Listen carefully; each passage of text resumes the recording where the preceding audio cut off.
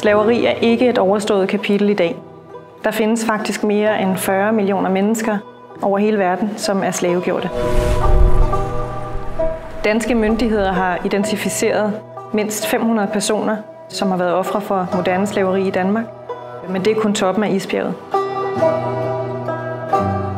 Frihed er et af de vigtige begreber, der bliver præsenteret i særudstillingen Stop Slaveri.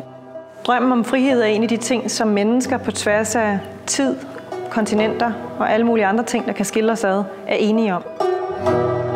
Stop Slaveri handler ikke kun om slaveri i fortiden. Den præsenterer også perspektiver på moderne slaveri og baner vej for forandringer i fremtiden.